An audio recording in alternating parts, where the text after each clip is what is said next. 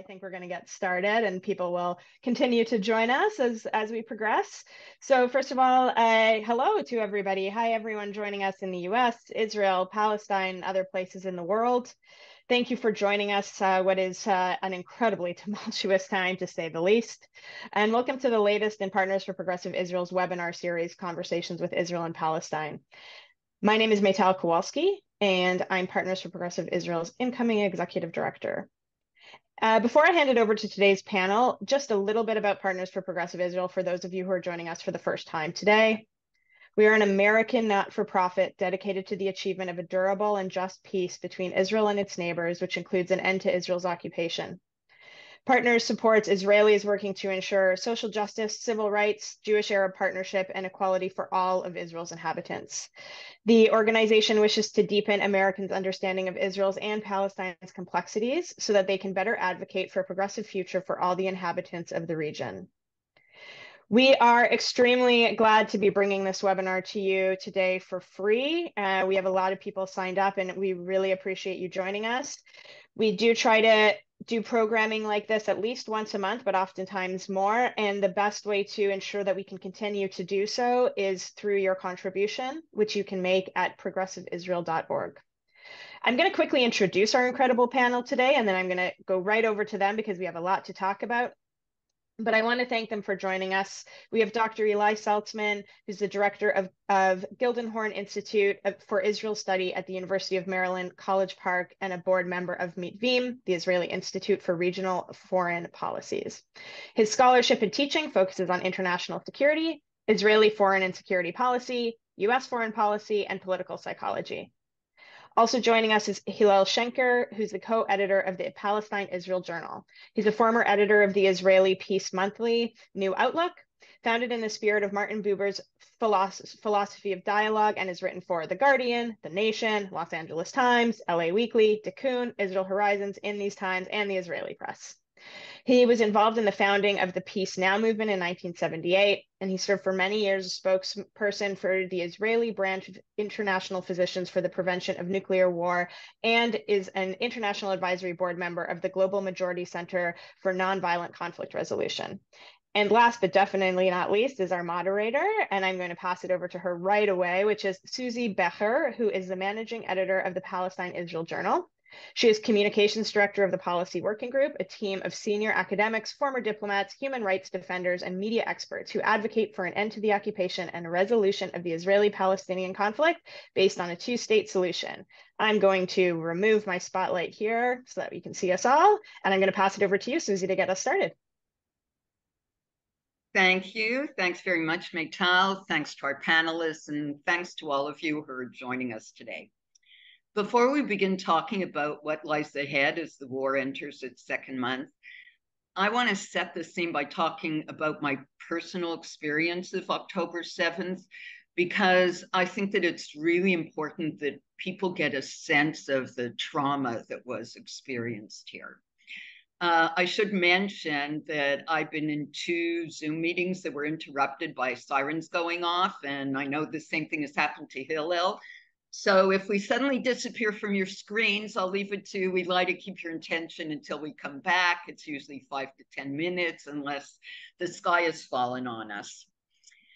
Uh, as many of you know, degrees of separation in Israel don't even add up to six. Everybody knows somebody who knows somebody who knows you. So everybody knows somebody who knows somebody who was a victim of the October 7th attacks in some way or another. And frankly, we're a nation suffering from PTSD. I live in central Israel. And when the sirens went off that Saturday morning, I was sure it must be a mistake. Uh, the routine here is that there's always some kind of build up before an incident like that, usually something involving some major IDF action that's unlikely to pass without retaliation from Gaza. And almost always the first round of rockets is aimed at southern Israel. Also, when, whenever anything really big happens here, the TV stations immediately start broadcasting. So we turn on the TV, and there was some nature program And then we turned on the radio and there was music playing.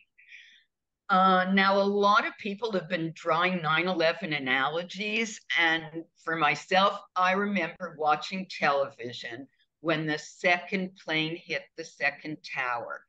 And there was a CNN correspondent standing there who blurted out that something must have gone wrong with the air traffic control system. And that was my first thought on October 7th that something must have gone wrong with the air defense system. But we're good citizens. We didn't take any chances. We went down to the shelter. And when we came out 10 minutes later, the news was everywhere that missiles had been fired from Gaza and that some kind of fighting was taking place in the south.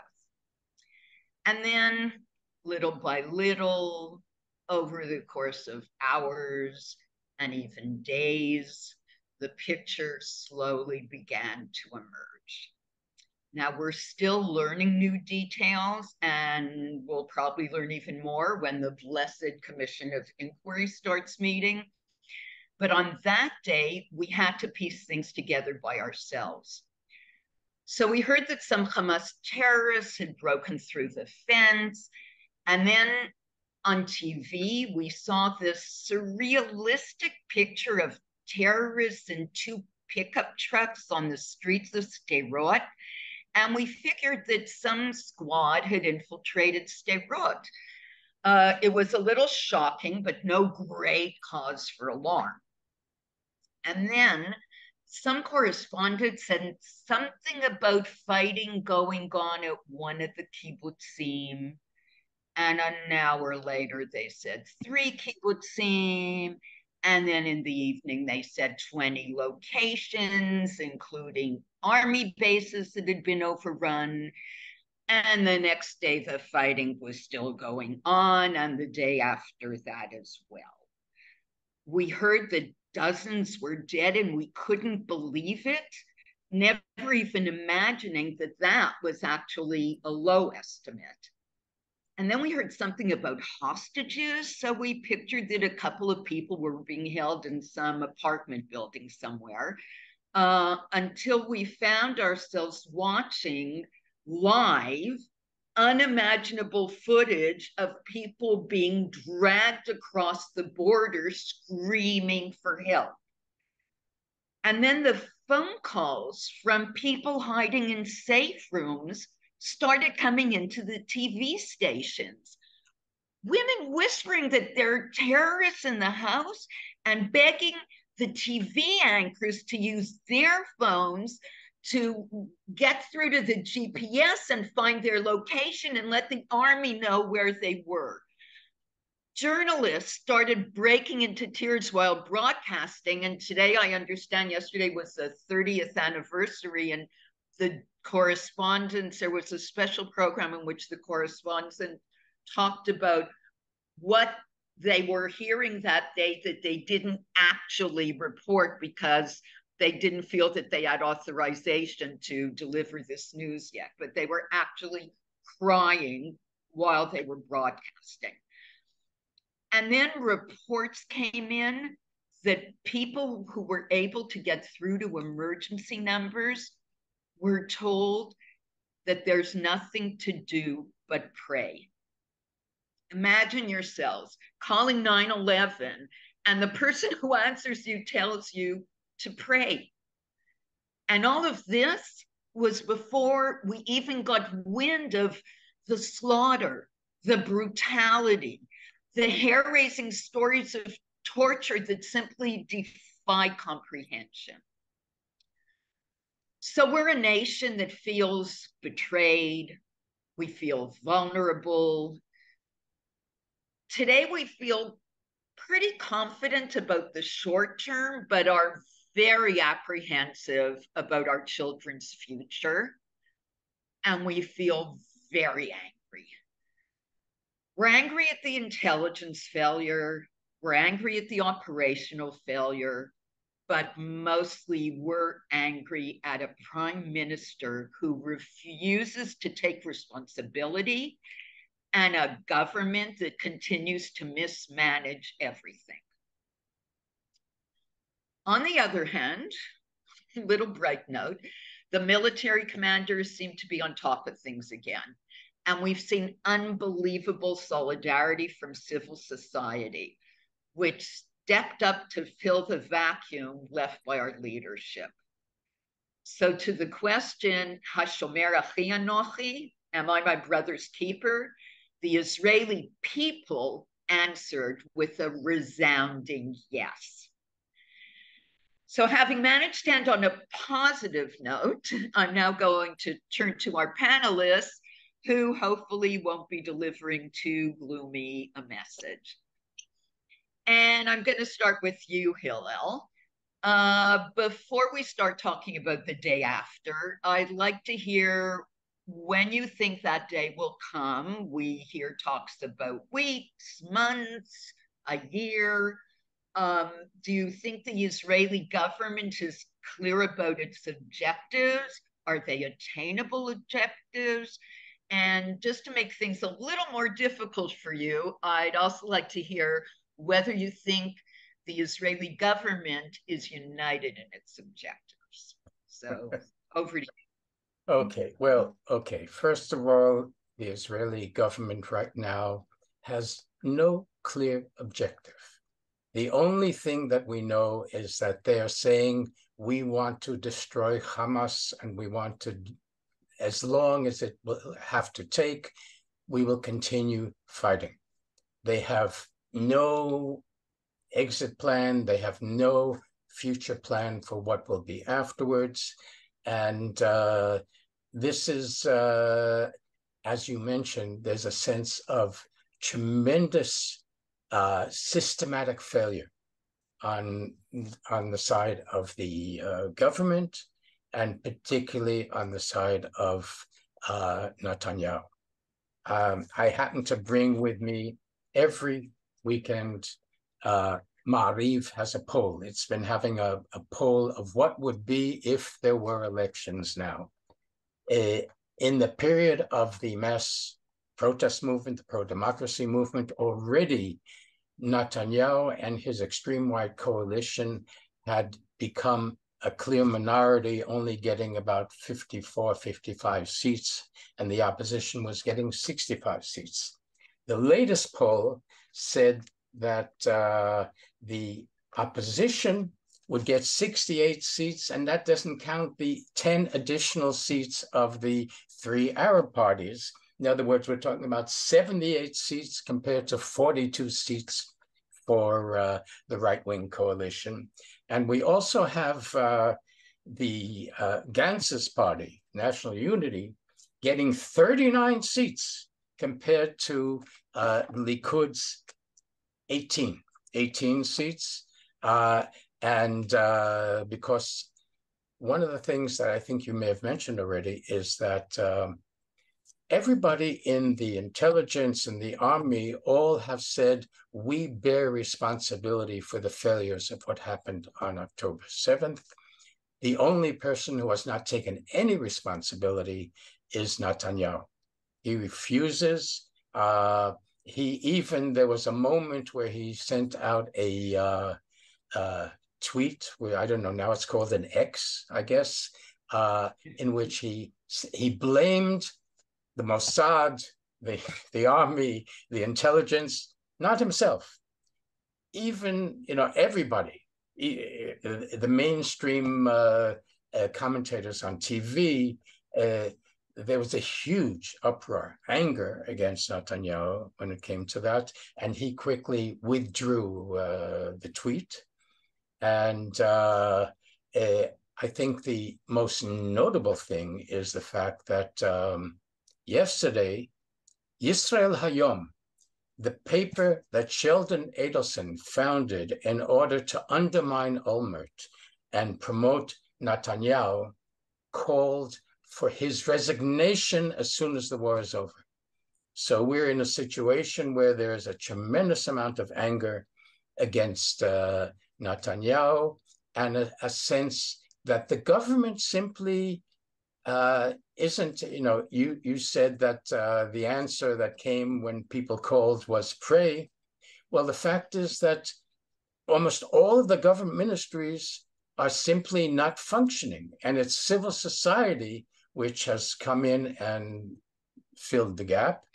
Uh, and the primary element within civil society, this is very important to uh, mention, is uh, the organizers of the mass protest movement. Uh, they quickly, they had a tremendous amount of organizational experience and infrastructure in place, organizing hundreds of thousands of people every week for 40 weeks. And they simply redirected their energies to helping the now 200,000 Israelis who are not in their homes, 100,000 from uh, the south, uh, the kibbutzim that were overrun, and uh, Sderot and Ofakim, and another 100,000 who were evacuated from northern communities, kibbutzim and Kiryat Shmona, in case of the possibility of a second front, a northern front, which meanwhile uh, has not happened and hopefully will not happen. So uh, I guess I'll stop there, or do you want me to continue? That's okay. We'll uh, go to uh, Ilai. Um, let's see here. All right, like getting down to the nitty gritty. Uh, what do you see as the possible scenarios for governance of Gaza after the war ends? both short term and long term. Uh, we know that a new one came up yesterday when all of a sudden Netanyahu kind of changed his tune and said that Israel will continue to control Gaza after the war. And uh, Blinken quickly told him to forget about that. But I wouldn't put it past Netanyahu to be planning to withdraw the troops, but put an even tighter siege on Gaza than there was before. So we'd appreciate if you could give us a survey of the various day after options that are being kicked around and let us know which one you think is the most likely.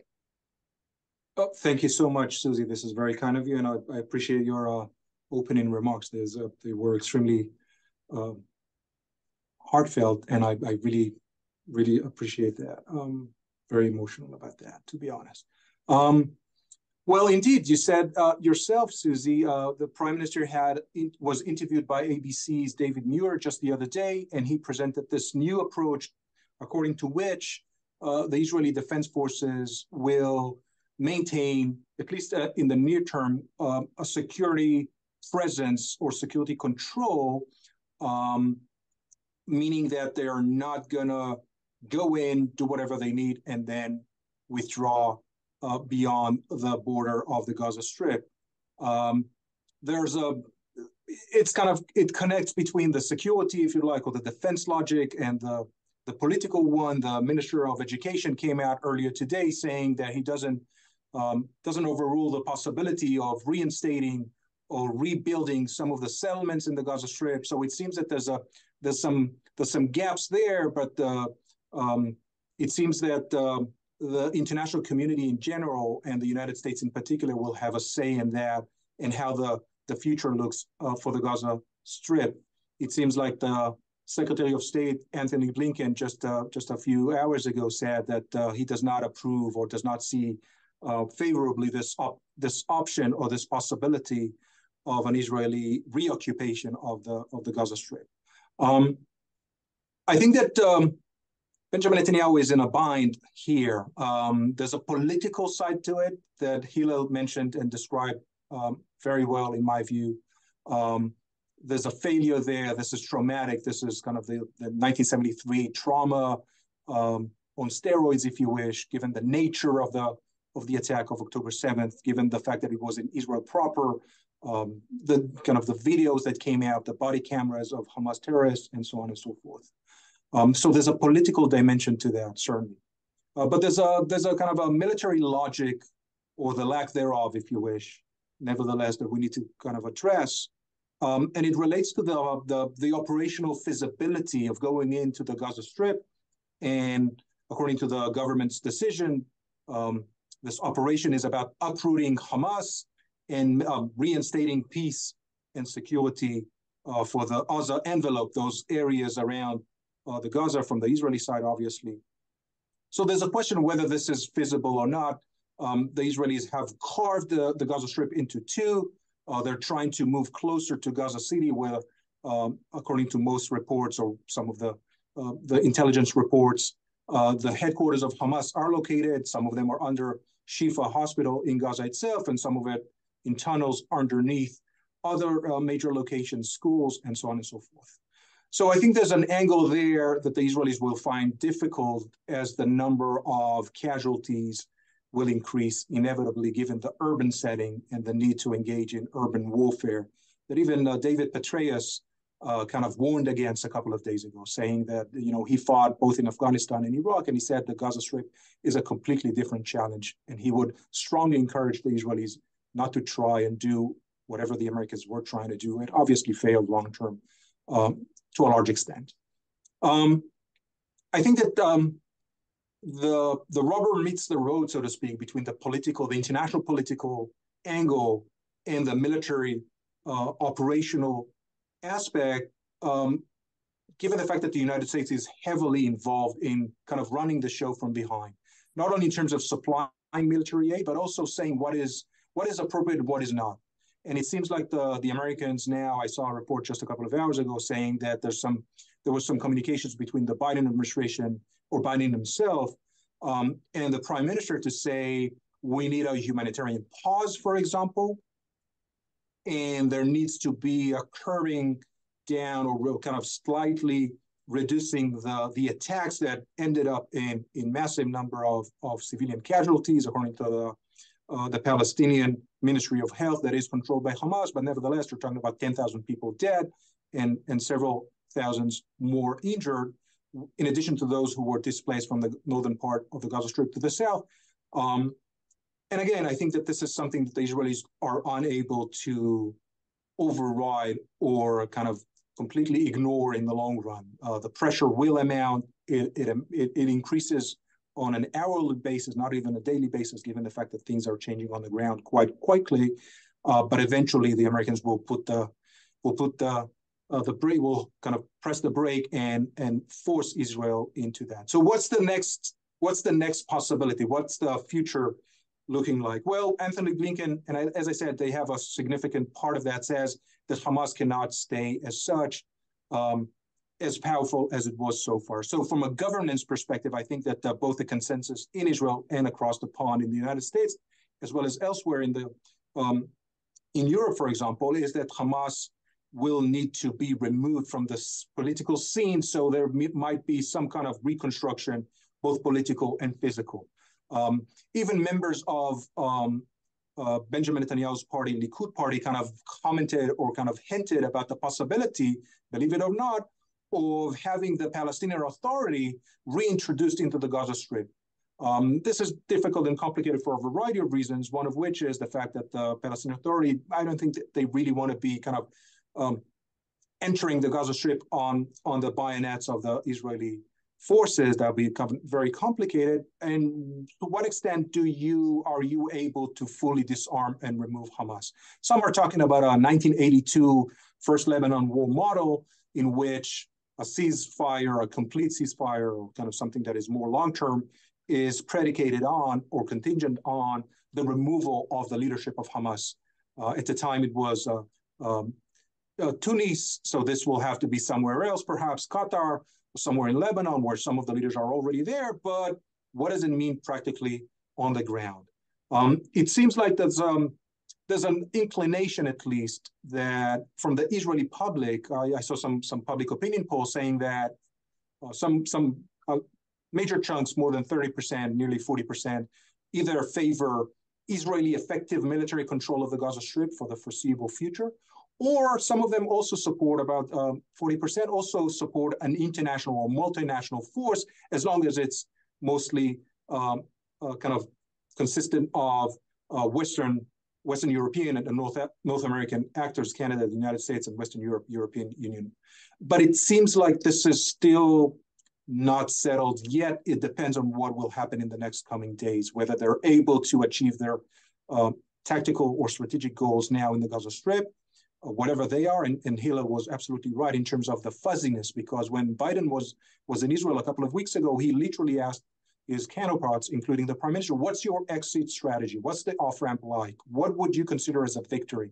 And it seems like the Israelis didn't have a very uh, kind of coherent, um, tangible uh, answer. I don't think they have a better answer now, other than just you know the slogan of removing Hamas and reinstating safety and security of the settlements of the kibbutzim in the envelope, including the small towns in Sderot and Ofakim. If I may uh, briefly follow up, in the back of everybody, all Israelis' minds is what Ilai mentioned, the first Lebanon war, when Sharon declared, uh, we're going in for between 24 and 48 hours, and they ended up staying for 18 years.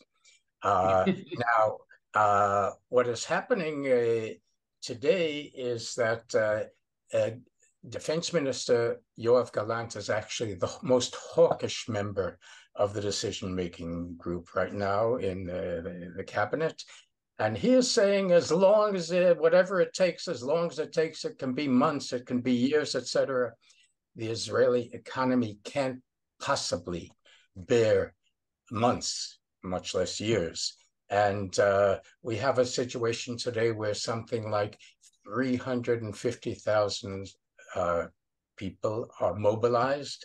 That means they're all out of the economy. This cannot continue. This will have to end sooner rather than later. And uh, if you, I actually have a, a proposal, a suggestion that I'd like to raise, which this Israeli government would not be ready to propose. But what I suggest is that, first of all, I think there is a necessity for a ceasefire mm-hmm. as soon as possible under certain conditions. First of all, too many Palestinians and also now Israelis are continuing to be killed. And so we need a ceasefire, but we can't just have an unconditional ceasefire. It has to be tied with a number of things. One is what Ilai mentioned that there is a general consensus in Israel and also, I think, uh, with the American administration uh, and the EU that Hamas cannot continue to be in control of Gaza. And just as it was arranged for Arafat and uh, the PLO fighters to go to Tunis, it would be possible to arrange for the Hamas leadership to go to Qatar or perhaps to Turkey. Uh, that would be part of the arrangement. The other factor, there are two other factors. One is we haven't mentioned yet the 240 Israeli hostages. And yeah, the Israeli general public, that is the first thing on people's minds. And that is the what they're saying should be the first priority. And unfortunately, the government is not saying that. So we have the issue of the hostages, and there is a proposal of all for all. All means that uh, Hamas would release all of the 240 hostages in exchange for all of the Palestinian prisoners that Israel currently holds. That would be another component. And the third component is the introduction of an international, we, we all agree that at this point, uh, the Palestinian Authority does not have the credibility and would not want, as Ilai said, to come in on the bayonets of uh, the Israeli army. Therefore, you need some sort of an interim arrangement, which would be uh, Martin Indyk is talking about a trustee, trusteeship idea, international trusteeship. We have elements of UN, United States, the Arab League, Egypt, which actually which did run Gaza for um, what was it, 19 years, uh, and uh, mm-hmm. the, all of this would be a package deal that the Israeli government will not propose. The mm-hmm. candidate to propose it is the American administration. And there are good reasons, electoral reasons, for Biden to want to become more involved, because right now he is in trouble in some of the uh, key uh, states because of, first of all, where Michigan, where there's a, a concentration of Palestinian Americans and Lebanese, and also the younger, uh, more uh, left uh, progressive side of the Democratic Party. It's in Biden's interest to provide answers that will satisfy both the Israeli and the Palestinian needs. So that is what I think should be done. Okay, thank you. Um, I actually want to go back and expand a bit on this uh, issue of the refugees, which is also tied to uh, what Ilai was talking about with ceasefires. So uh, Biden, as we know, he's not talking about ceasefires, he's talking about a humanitarian pause.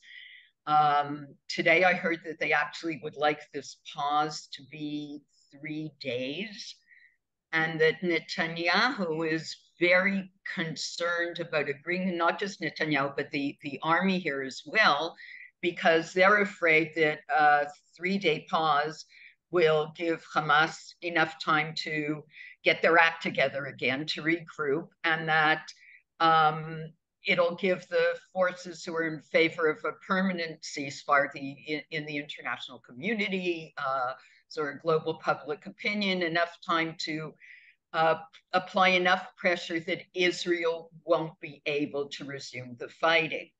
Um, the other thing is that there's a lot of pressure here related to the refugees that how can we, I mean, the, the refugee families are extremely vocal as they should be. And I think the, the one issue that all of the Israeli public is united around is the need to release the refugees first. The hostages. Uh, the, the hostages. Sorry, the yeah, hostages. Yeah. I'm sorry. Yeah. Okay. Um, this issue of all for all, uh, it's really the Israeli left and the families of the hostages that are talking about it.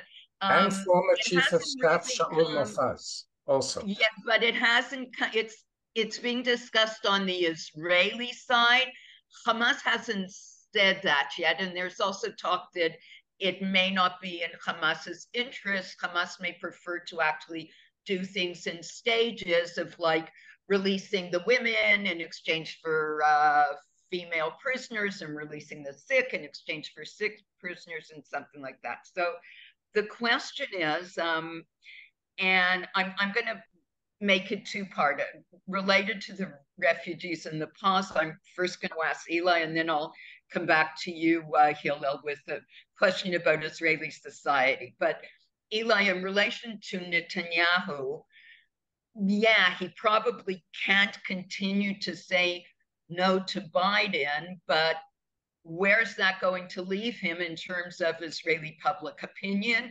and in terms of the military that feels that saying yes to a three day pause could actually mean that the war stops here.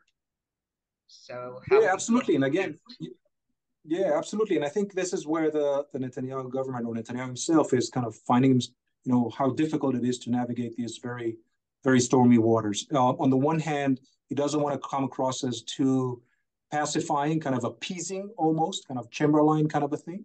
Um, and on the other hand, he understands the limits of power, given the fact that the Americans are not only providing the military aid, but providing the, the diplomatic coverage. For example, in the UN Security Council, they aborted or kind of threatened to veto a number of critical resolutions against Israel. They didn't mention, for example, the hostages or the October 7th or Hamas in general.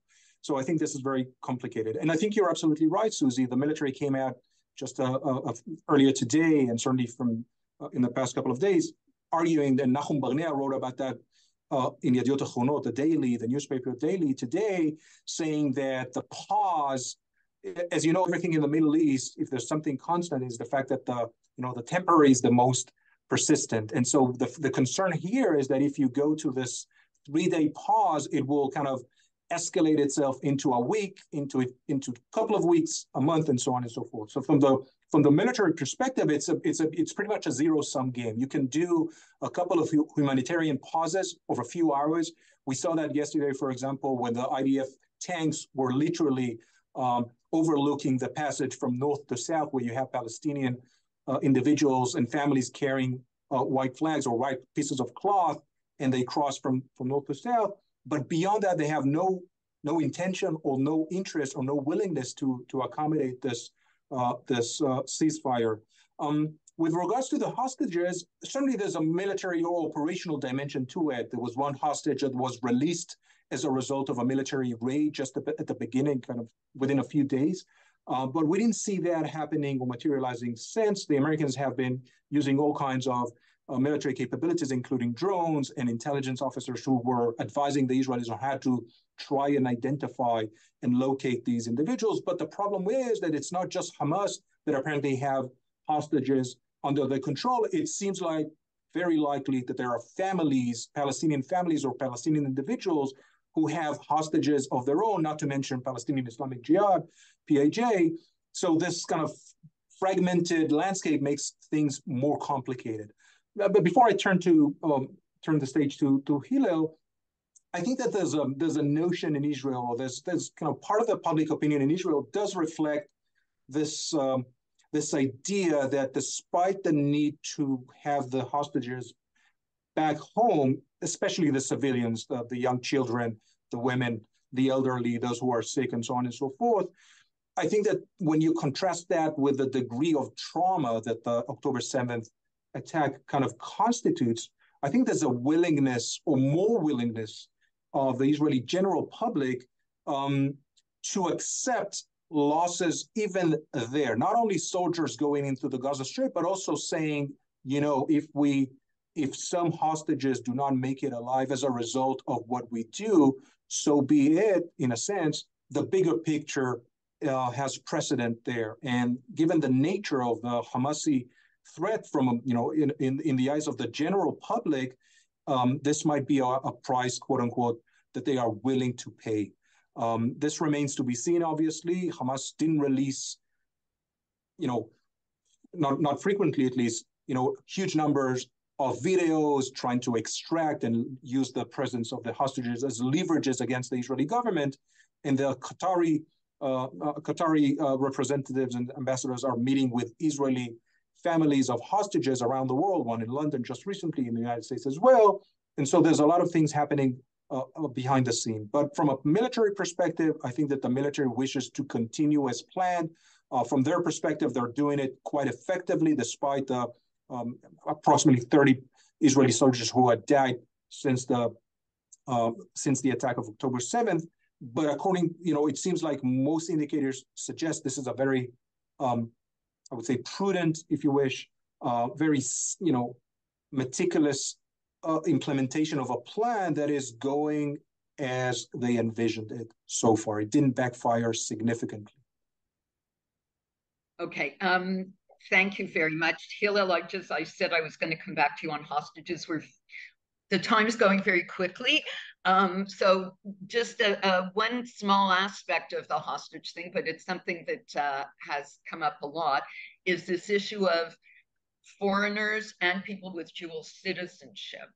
And so what it will mean, only yesterday there was news that Thailand actually had reached out to Iran, of all people, and Iran was able to get pictures showing that the foreign workers, the Thai foreign workers who were being held, were in good condition. And so now Iran is involved in the hostage negotiations directly as opposed to through proxies. And uh, the United States is looking out for its people. And Canada has uh, a very well known peace activist, Vivian Silver, is being held. So, Hillel, what's your take on what it would mean to sort of the fabric of Israeli society if we see that foreign governments are able to get their citizens out when Israel is failing to secure the release of Israelis yeah. who don't carry a second passport. Well, the, the Israeli government, as I said earlier, has failed on all fronts. And this is just one other front. I must say, I haven't seen any poll which suggests that uh, any significant percentage of the Israeli public is ready to sacrifice the hostages in exchange for uh, military achievements in Gaza. That I, I, don't think is a factor. And there is, it's very clear that, um, you know, everybody, as, as you said at the beginning, we all know people who either are hostages or were killed. And so it affects the entire Israeli society. Now, one thing, uh, of course, like you said at the beginning, uh, October 7th was a huge trauma for all of Israeli society. And one of the factors was where was the army?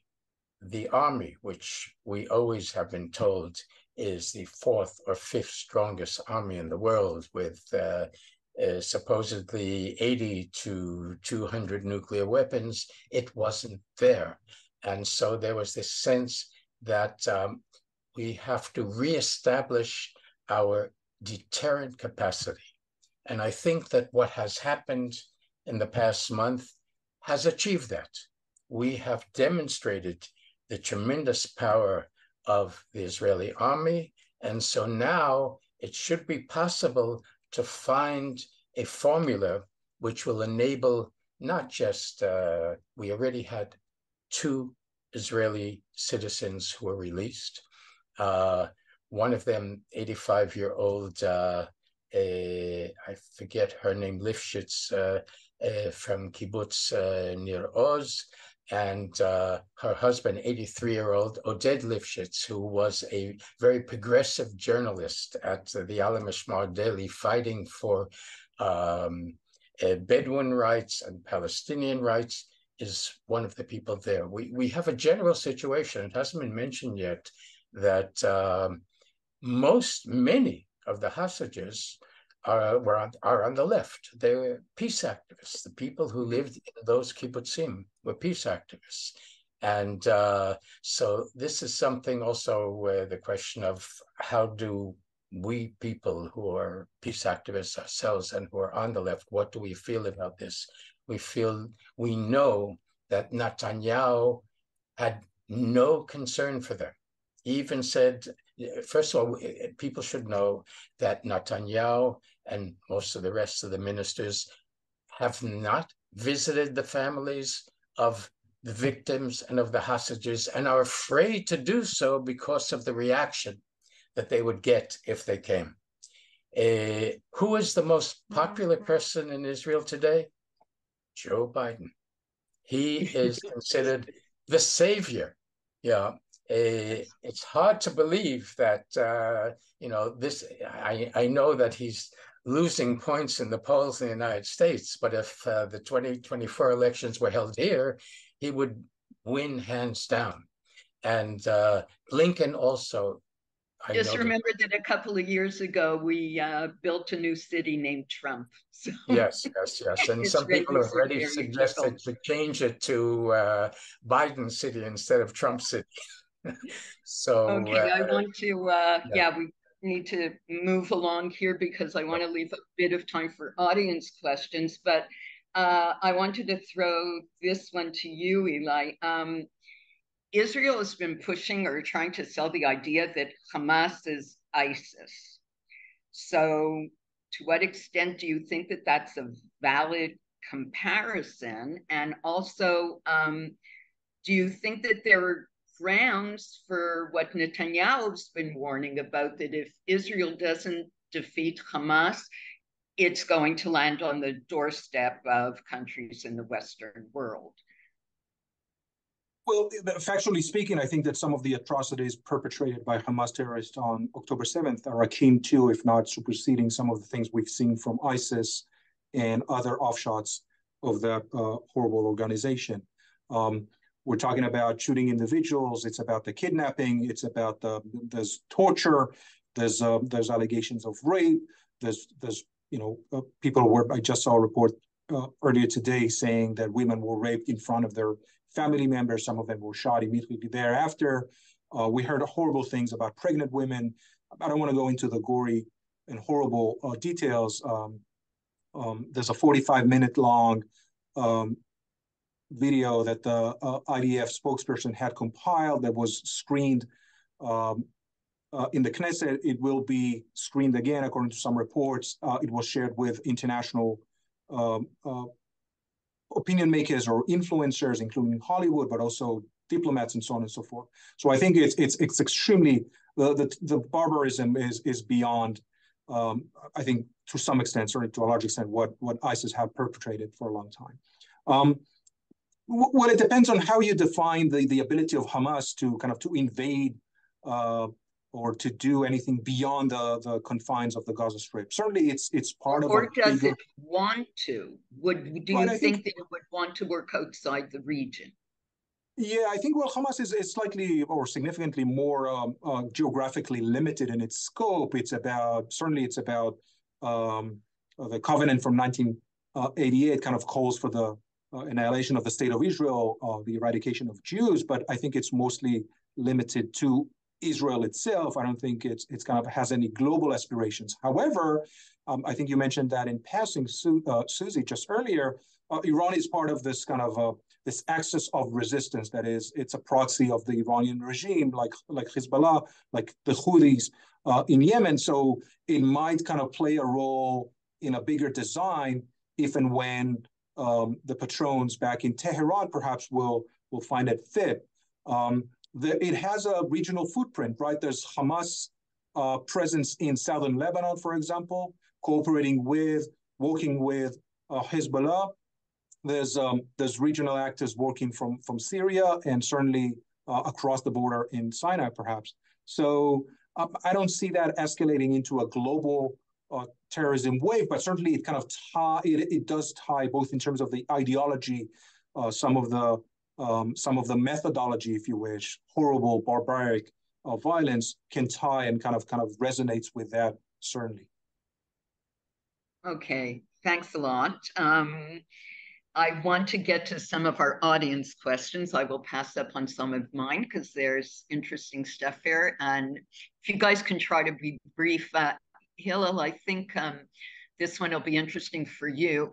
Uh, it says there are dozens of Israeli Palestinian peace partnerships involving hundreds or thousands of Palestinian partners. They are tomorrow's Palestinian leaders. Why is everyone ignoring them and instead on is insisting negotiating with the existing power structure, in other words, the PA, which is not exactly uh, seen by most Palestinians as a legitimate leadership today. That's my own observation. Well, uh, first of all, of course, there's a basic difference between the Palestinian Israeli citizens and the Palestinians in the West Bank and Gaza. Uh, it, Israel is not going to negotiate with its own citizens. It, in the final analysis, we need to negotiate with a Palestinian partner. Hamas cannot be that Palestinian partner. The only alternative is the PLO, the Palestinian Authority, which should have elections and have new leadership. And one of the calls is to release Marwan Barghouti, who is in prison and who could, in theory, uh, play the role of a Palestinian Nelson Mandela if he were released and if he were elected. So we do have some wonderful internal Israeli Jewish Palestinian uh, joint activity, particularly the Standing Together movement, which is a young movement of grassroots activists working together. Uh, as a sports fan, I was particularly impressed to read a, a whole article in Yediot Ahronot about Salim Touama, who is uh, a, a, hero of Hapoel Tel Aviv, the so-called left-wing uh, soccer club, in, and he has been going around received by uh, the wounded, and even people on the right are saying, we so appreciate the fact that you're coming to see us, and we uh, apologized for the fact that we called you a terrorist. And yeah. we now, in other words, yes. But, but I think the focus here isn't on uh, Palestinian Israelis. They're asking about about Palestine. Okay, so we need in the we occupied territories. Yes. Okay, so if we're talking about the occupied territories, obviously no possibility of negotiations with Hamas. Hamas has to be out of the picture. And so we get back to the Fatah, Palestinian, the PLO, uh, and people should know, by the way, that Hamas is not a member of the PLO. And uh, what we need is a rejuvenation on the Palestinian side, and what the Palestinians are calling for as well, because there's a whole generation of Palestinians who have never voted an election. And Abbas has lost uh, the confidence of the people. And so, if we're going to have an address for future negotiations, we need two changes. We need a rejuvenated PLO, Palestinian Authority, with new elections. And we also need a different Israeli government, obviously, because this current government, with Netanyahu as its leader, with Smotrich and with Ben Gvir, is also not an address for negotiations. So we need change in both sides. And one of the things that happens when you have a crisis like this is crisis create new opportunities for change, for change of policy, and also for change of leadership. And so hopefully, we in Israel, when the war ends, will be able to have a new government, and hopefully, the Palestinians in the West Bank will also be able to uh, revive and rejuvenate. And then we, in the longer run, and hopefully shorter than longer, would be able to eventually revive negotiations. Okay, thanks, uh, Hillel. Uh, now I'm going to make life hard for Ilai because Hillel, you were saying that it's just, you know, we're all operating the, on the assumption that Hamas is no longer considered legitimate and they won't be part of this process. And now we have an audience member who's kind of challenging that and is asking, first of all, the whether the Bush administration shouldn't have allowed them to take part in the elections in 2005. And when they did win, whether it was wrong not to recognize them.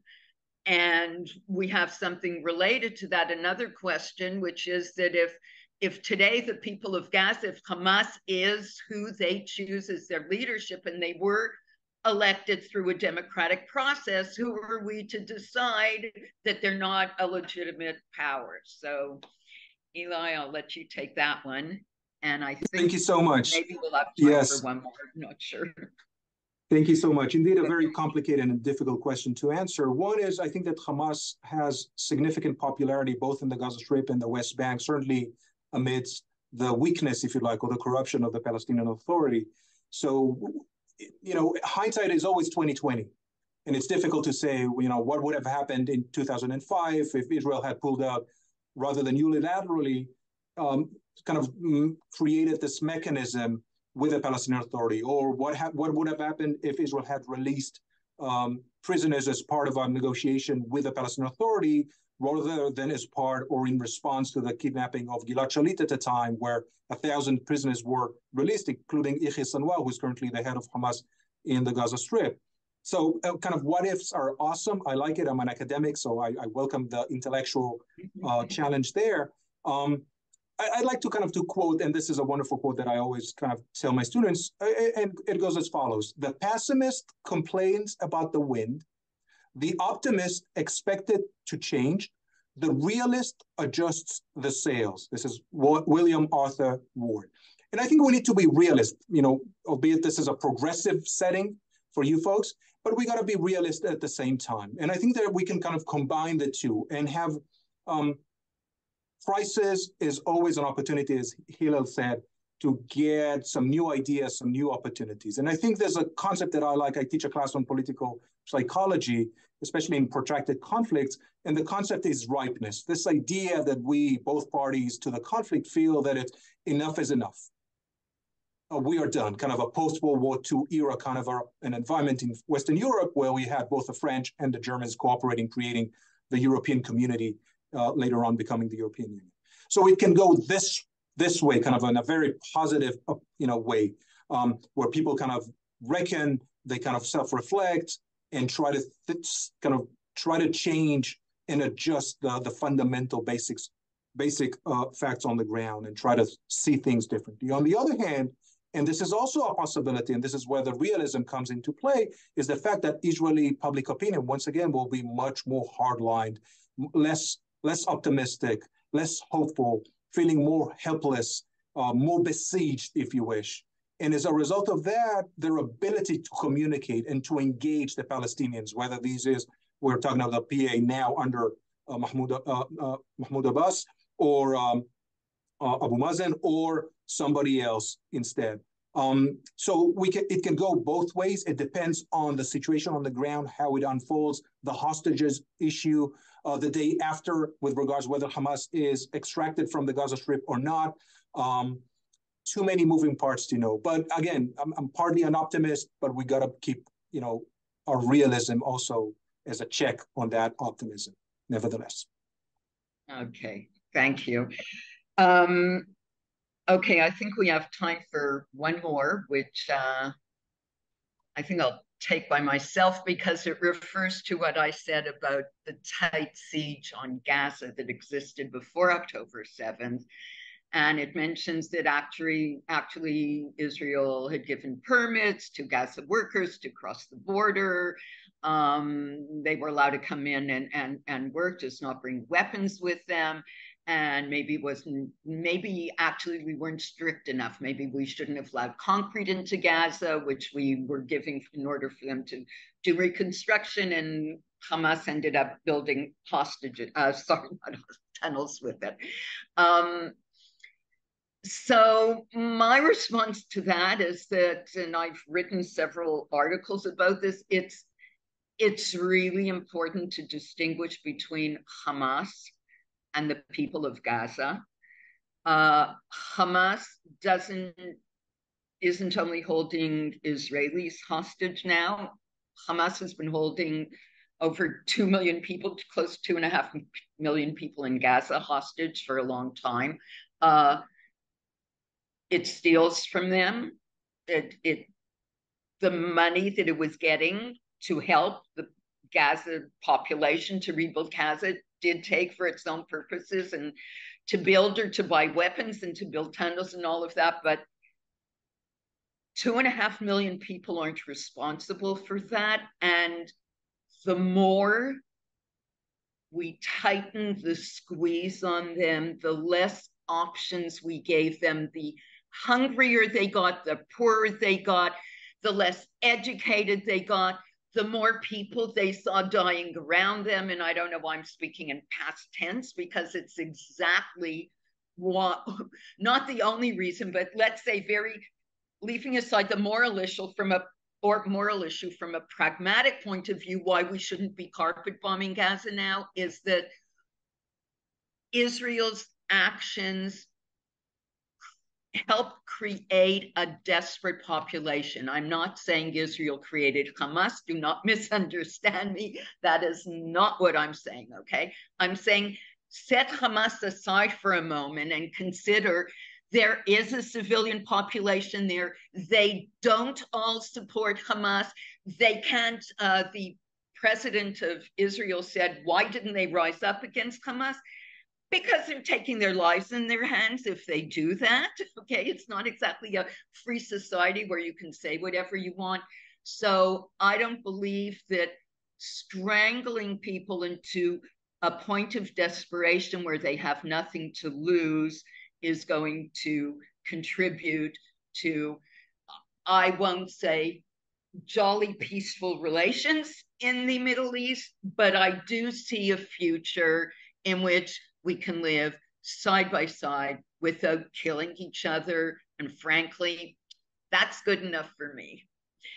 So, on that note, we're going to draw things to an end. Um, will be one one yes, brief sure, basic comment sure. that I don't believe that we Israelis and Palestinians can do it on our own. We can't arrive at a solution. We need international third party involvement. We need the type of American involvement that Eisenhower did in 1956 when he demanded that Israel withdraw from Sinai, the type of presidential involvement that Jimmy Carter demonstrated in the Israeli Egyptian mm-hmm. peace process. And we should also mention the EU has a tremendous interest in not having the crisis continue and then having a mass overflow of refugees from the Middle East coming to Europe, creating more destabilization. And the same is true for the members of the Arab League with the Arab Peace Initiative, which should be the basis for any future solution, resolution of the conflict. Right. Thanks, Hillel. And um, thank you both for very interesting discussion. Thanks every, to everyone who tuned in. Um, I'm going to add on to what Hillel said because I think the only thing that we know for sure is that we can't know anything for sure. But in addition to all the organizations that Hillel mentioned, uh, I want to come back to the question of civil society. And I think the one thing that we do know for sure is that civil society has a very important role to play. And so we want to thank PPI for letting us speak to you. We want to thank all of you who listened. I want to apologize to those who sent us really good questions and I wasn't able to get to them. Um, but our panelists really had very interesting things to say to us. And I'm sure that this isn't the last time that we'll be discussing this issue. So please join us again. Thank you. Thanks. Thank you so much, Susie. Um, you gave me a perfect segue. Thank you so much. Um, because what I wanted to say is that when it comes to these civil society organizations that our panelists spoke about today, we are continuing to hear from them as a part of our fourth annual Digital Israel Palestine Symposium. We have upcoming sessions on November 19th and December 3rd. To learn more and register for that symposium, uh, please do visit progressiveisrael.org and once again, I do just really want to extend my my deepest thank yous to Dr. Ilai Saltzman, to Hillel Schenker, and to our incredible moderator, Susie Becher. And thank you to everyone who joined us. I also want to give a thank you to my colleague, Ron Skolnick, who um, did a ton of behind the scenes work here and made this discussion happen today. Again, we appreciate your support. We hope to continue to see you at our symposium, at upcoming webinars, and we would encourage you again to make a donation to Partners for Progressive Israel at progressiveisrael.org. Thank you so much. Have a great rest of your day, everybody. Thank you. Bye.